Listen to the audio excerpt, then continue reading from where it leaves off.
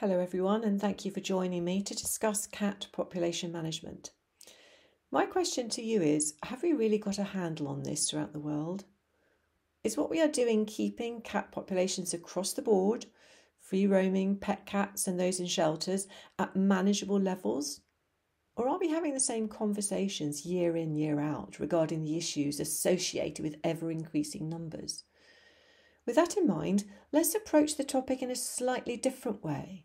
Let's look at cat population management as a jigsaw puzzle, a series of interconnected pieces.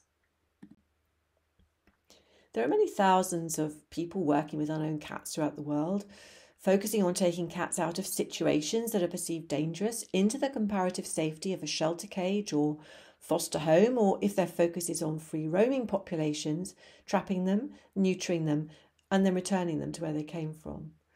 This approach could be referred to as a rescue or reactive way of working, focusing on the cats in front of you at any one time and responding to that immediate need. Working this way tackles the symptoms of the underlying problem and is the most common approach to managing unowned cats. And that's understandably so, uh, as this is so much easier than addressing root causes and offers something tangible to measure.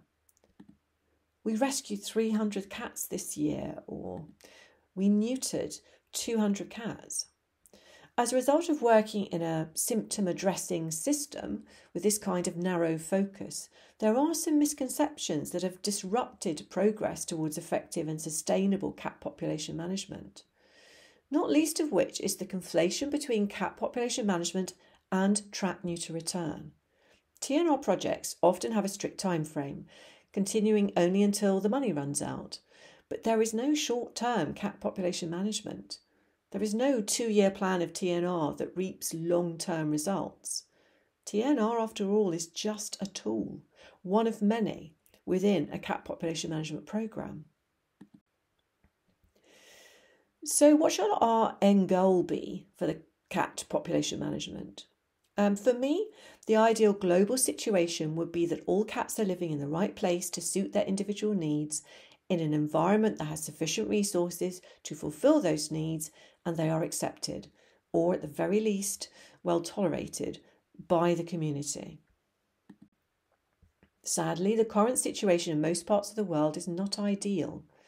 The number of cats in many countries exceeds what the environment can provide for, and this leads to disease, suffering, and overall poor welfare for the cats.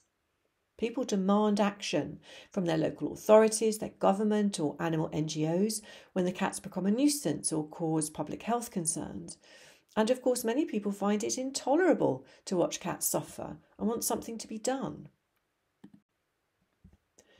I guess it's not unreasonable to ask the question why are there so many cats? After all, asking the right questions and listening and really understanding the answers often leads to, to the development of effective ways to tackle the root of that problem. If you try to answer this question, then somewhere within that will be two main things that stand out. The reason we have so many cats is to do with the nature of the cats as a species and also the nature of humans too. For example, cats are extremely adaptable creatures. They have successfully populated most land masses throughout the world. They are incredibly successful reproductively, and they migrate easily to seek out a reliable and plentiful food source when their current one becomes scarce. When it comes to the role humans play, we shouldn't shy away from identifying what fuels this population explosion. People can't help feeding cats they don't own. It's like a compulsion for many.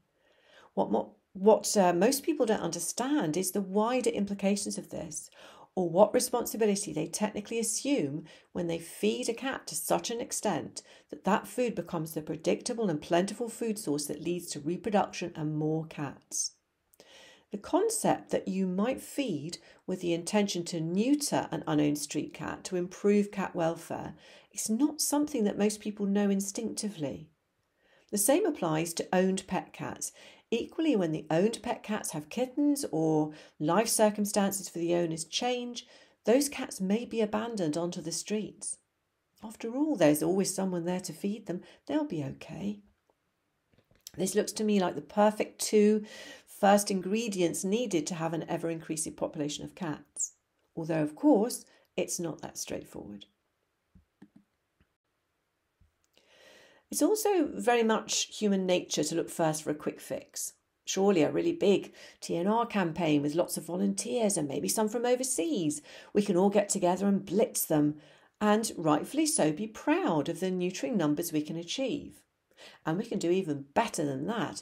And those cats that are unowned and free roaming that appear friendly, well, we can put them into shelters and find them pet homes. But of course, the species is more complex than that. Not all cats are the same, and they don't therefore need the same lifestyle.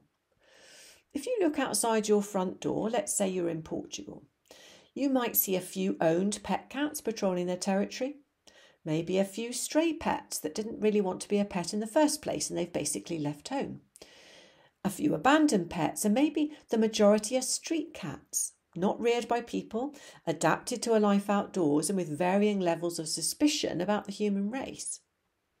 Putting that latter group into a shelter would not meet their needs, and you end up risking long stays in cages, high levels of stress, and exposure to infectious diseases. Not quite the consequence you intended. Even then, once you have removed or neutered the cats around you, there are always others to take their place. There seems to be an inexhaustible stream of cats coming from somewhere to fill the gaps and add to the numbers. So, what is the answer? This is where the jigsaw puzzle comes in. A box of bits with fragments of the bigger picture on uh, on each one means nothing. Some may be slightly pretty to look at in isolation, but when you interlock them and put them all in their rightful place within the bigger picture, you then see the rewards for all your hard work. Cat population management is a jigsaw puzzle. A complex interconnectivity and interdependence of policies, programs, campaigns, attitudes, planning, and collaboration. Most of all, it's about not assuming that this is someone else's responsibility to fix. There are many stakeholders who are partly responsible for the problem, so to be fair, they also need to be part of the solution. Here is our jigsaw puzzle. For the purposes of this short exercise, we're focusing on four primary stakeholders, although, of course, there are others. We are looking at pet owners, TNR groups, homing organisations, and vet clinics. Let's look at each one of those pieces in turn. So, if pet owners did nothing more than absorb the mantra neuter, neuter, neuter, we would be in a very different place. Additionally, this model sim, uh, simulation from Jenny McDonald and her colleagues published last year shows that increased levels of prepubertal neutering resulted in reduced population growths, despite the overall adult owned cat neutering prevalence remaining constant. So, neutering, yes, please, but neutering to prevent unplanned and unwanted litters is even more impactful. So, to achieve this, pet owners need the veterinary profession. More about that in a moment. Also, they need to be responsible owners. They need to microchip their cats and reach out to animal welfare charities and homing organisations to seek support to prevent abandonment. Again, to achieve this, they need local homing organisations that are accessible, approachable, and equipped to offer the support needed. What about the TNR groups? TNR groups do an amazing job for those of us who have never been out in all weathers, engaging in the not very straightforward job of getting unsocialised cats inside traps just when you want them to be there, it's a definite skill and almost exclusively done by volunteers. And I'm sure that many of those groups collect data to track their impact over time on the target population. But all we tend to hear about is numbers neutered, which doesn't really tell us anything about what that work has done to stabilise and hopefully reduce that population. There's a relatively small amount of published data on the long term impact of TNR, so we often have to rely on simulation, such as the modelling done by uh, the Alliance for Contraception of Dogs and Cats. These three papers shown here looked at the most effective and cost efficient ways to reduce free roaming cat populations over a 10 year period and found that front loaded high volumes of cats neutered at the outset with frequent revisits reaps rewards. Now, many people get disheartened when they see uh, figures such as over 75% of the target populations need to be neutered at the outset. as it seems unachievable. But you must work with the available resource restrictions, be they finances or veterinary capacity. So, if resources are low, you are focusing on one colony at a time, for example, before moving on and then returning regularly to mop up cats immigrating into the area or those that were elusive at the outset. One could argue also that TNR groups should focus where there is the most need and where you can have the most impact. There is no question there is a correlation between urban deprived areas and high free roaming cat populations. However, if that human population does not have the motivation, the opportunity, or capability to neuter its pets as a matter of routine, the effort could be in vain. That's just one small example of the interconnectivity and interdependence of the different pieces of this jigsaw. Let's look now at the homing organisations. You'll notice I'm not referencing sanctuaries or any other description that implies these places are a positive environment for cats to spend their remaining days. Putting cats in cages or compounds with others is inherently stressful for cats. The fact that most people, unless specifically trained to do so, cannot accurately identify a distressed cat is no reason to store them indefinitely and assume we're doing a good thing. Homing organisations and foster networks too are a part of the cat's journey and not the destination. So, cats coming into the homing sector are there specifically for the purpose of finding a pet home to meet their needs as an individual. If the cat would not be able to live comfortably as a pet, then that cat should not be brought into care. If there is no good market for pre owned cats, then there should be no shelters. Taking cats off the street and putting them somewhere else in cages instead to solve the issue. When you put it like that, it kind of sounds barbaric. The homing organisation's role in this jigsaw puzzle is to ensure all cats adopted from them are neutered, to support the community to keep cats in their homes wherever possible, and to make adopting a cat as simple and enjoyable a process as possible. In the UK, quoting from the Cats Protection's Cats report from 2023, a higher proportion of cats acquired from homing centres were neutered, 93%, compared with 77 from breeders and 86 from neighbours, family, and friends. We need more people to adopt cats in the UK. However, the overall percentage of cats neutered in the pet cat population has been falling, and this, in combination with the perfect storm in the UK of the pandemic, Brexit, global conflicts, and the ensuing financial crisis has impacted on the UK's pet owners' ability to keep their pets. By June 2023, the waiting list for cats to be relinquished to the Cats Protection's adoption centres had reached 3,000, meaning many centres had reached their capacity for waiting list numbers. And still they come.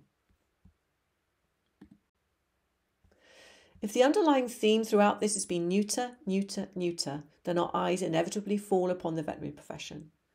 For those of you who are in the veterinary profession or work closely with vets, you will know how pressurised and stressful their role has become, with widespread veterinary capacity issues and many other pressures. Even if, again using the UK as an example, owners wanted to neuter their cats, 30% of those surveyed in 2023 said they had experienced difficulties in getting an appointment to do so because the vet was too busy, there was reduced service offered, or reduced opening hours. You can see from this chart with figures from both the PDSA's PAW report in the UK and the CAT report from the Cats Protection for comparisons, there's a slight difference in the percentages, that the percentage of the pet cat population that has been neutered has declined post pandemic. Let's take a closer look at this other table from the modelling paper from the UK. Their modelling showed that you need to have 95% of the adult owned cats neutered before you even start to see an approach to stabilisation on all the populations owned, stray, and free roaming street and feral cats, and 98% to see a reduction. So, going back to this slide, obviously, this is what would work for the UK. Um, let's take a different country like Cyprus, where the cat population numbers exceed that of the human population. A different set of interconnected pieces need to join up. When cat numbers on the street are so abundant, fewer people will call themselves cat owners, as probably the concept of owning one doesn't make much sense. With everything else that the vet profession has going on, The challenge for them and for all of us who want to see better welfare for cats everywhere is to find a way to upskill vets in high volume, high quality prepubertal and kitten neutering and to have sufficient vets to be able to support cat population management programs that enables them to still have a viable business and provide all the other services required of them. This is a global challenge that we all need to support. So, here are all those pieces. I'm not saying it's easy by any means. And this has really been quite a simplistic view um, of what's going on in the world. And it's by no means a perfect world. But we need to promote the idea of us all taking our share of, of, the responsibility for managing our cat populations.